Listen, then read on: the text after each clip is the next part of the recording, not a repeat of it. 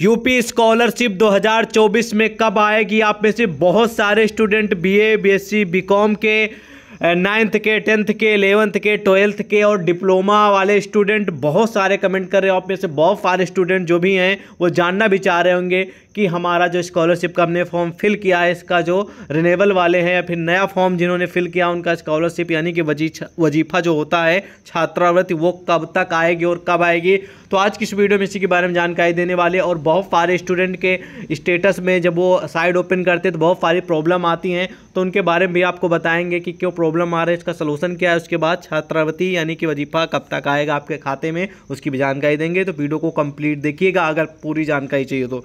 ठीक है, सबसे पहले बात कर लेते हैं, बहुत सारे स्टूडेंट के बहुत सारे जो समस्या आ रही हैं, जब वो स्टेटस चेक करते हैं कि भैया हम अपना स्टेटस देखें कि हमारे स्टेटस में कौन सी समस्याएँ हैं, या फिर पैसा भी भेजा गया हमारे खाते में, या फिर नहीं भेजा गया। अगर नहीं भेजा गया तो वो कौन से कारण की वजह से नहीं भेजा गया है, ठीक है? तो इन सभी के बारे में आपको पहले जानकारी दे दें। सबसे पहले इस समय जो अभी दो, तीन, चार दिन से एक बहुत बड़ी प्रॉब्लम चल रही कोई भी स्टूडेंट अपना स्टेटस नहीं देख पा रहा। जब स्टेटस देखने जाता है तो देखिए स्कॉलरशिप ऑफिशियल वेबसाइट पे जब स्टेटस चेक करने जाते हैं तो वहाँ पर सबसे पहले लिख के आ जाता है वी आर सॉरी यानी कि सर्वर ही नहीं चल रहा है, ठीक है?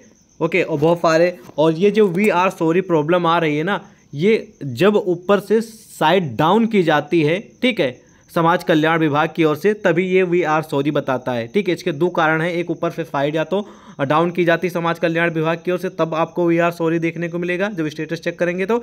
या फिर दूसरा कारण ये भी है कि जब सर्वर बिज़ी रहता है तो ठीक है? यानी आप दिन में ट्राई करेंगे तो ये समस्या आ सकती है। इसको अगर आपको मान लीजिए समाज कल्याण विभाग की ओर से साइट चालू है तो आपको इसको राइट में रा, रात में ट्राई करना दस बजे ग्यारह बजे के करीब ठीक है?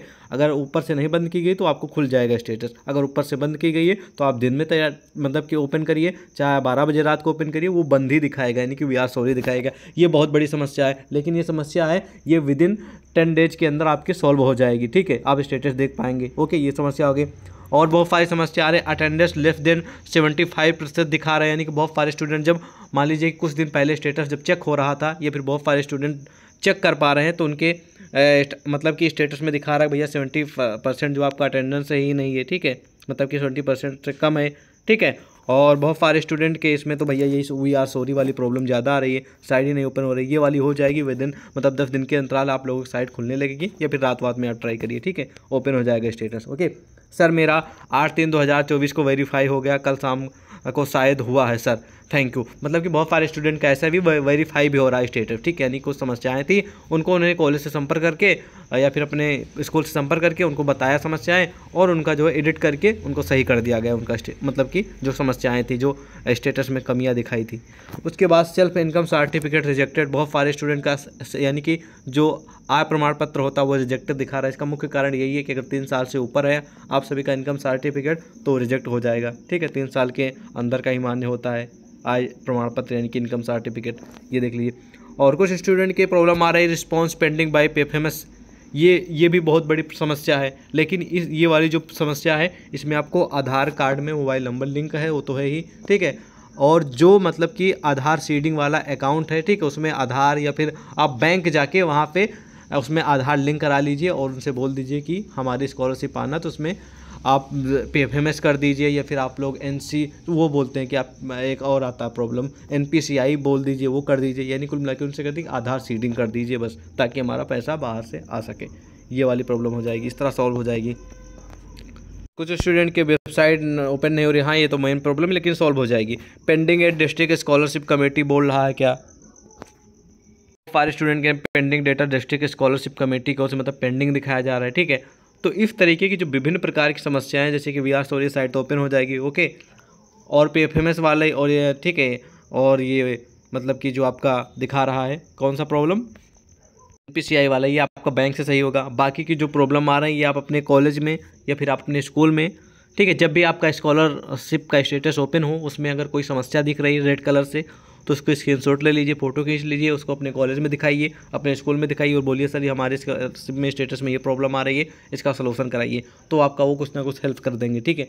ये हो जाएगा ओके बाकी अब स्कॉलरशिप कब तक आ जाएगा? जिन छात्रों का वेरीफाई हो गया है, या फिर हो जाएगा, तब, कब तक आ जाएगा? तो ध्यान से सुन लीजिए, पिछले साल 2023 में जो स्कॉलरशिप आई थी यूपी स्कॉलरशिप ठीक है, वो कई चरणों में आई थी। कितने में आई थी? कई चरण में मतलब कि कुछ स्कॉलरशिप एग्ज़ाम्पल के रूप में मान लेते हैं, ठीक है? मार्च में आई थी, मार्च के लास्ट में कुछ स्टूडेंट की आई थी, ठीक है? और कुछ स्टूडेंट की अप्रैल के फ़र्स्ट वीक में आई थी। कुछ स्टूडेंट की जो वजीफ़ा है वो पंद्रह अप्रैल में आई थी। कुछ स्टूडेंट ऐसे हैं जो बीस, पच्चीस अप्रैल में आए थे। कुछ स्टूडेंट ऐसे हैं जिनकी स्कॉलरशिप जो है वो मई में भी आई थी। यानी कि कई चरणों में स्कॉलरशिप आई थी। तो सेम उसी तरह इस बार 2024 में जो आप सभी का छात्रावृत्ति यानी कि वजीफ़ा है, ठीक है? वो भी कई चरण में आने वाला है, ठीक है? कितने चरण में आने वाला है? कई सारे चरण में आने वाला है, ठीक है? लेकिन स्कॉलरशिप जो आने की उम्मीद है, वो आप सभी की शुरुआत जब होगी स्कॉलरशिप आने की, वो बीस से पच्चीस मार्च के बाद ही होगी, ठीक है? बीस मार्च और पच्चीस मार्च के बाद ही आप सभी की स्कॉलरशिप यानी कि वजीफ़ा आना शुरू होगा और ये कई चरण में आएगा, एक ही साथ नहीं सभी स्टूडेंट का आएगा, ठीक है? तो टेंशन लेने वाली बात नहीं है। जैसे कि जिस जिस हिसाब से आपने स्कॉलरशिप का रजिस्ट्रेशन कराया था मतलब आपने फॉर्म फिल किया था, उसी हिसाब से धीरे धीरे करके आप सभी की स्कॉलरशिप आती रहेगी। और जैसे भी फ़र्स्ट पेमेंट रिलीज़ होगी, ठीक है फ़र्स्ट शिफ्ट वाली फ़र्स्ट चरण वाली, हम आपको सबसे पहले इन्फॉर्मेशन कर देंगे। इसलिए अभी कभी चैनल को सब्सक्राइब कर लीजिएगा, ठीक है? लेकिन 20-25 मार्च के बाद ही आएगी, ठीक है? और जैसे भी आएगी, आपको सबसे पहले इन्फॉर्मेशन किया जाएगा, ठीक है? टेंशन लेने वाली कोई बात नहीं, हम आपका अपना चैनल है और आप लोगों के लिए हमेशा हम सपोर्टिव हैं, ओके? बाकी कोई क्वेश्चन है तो ज़रूर पूछ सकते हैं कमेंट में। और मिलते हैं और नए वीडियो में। जय हिंद।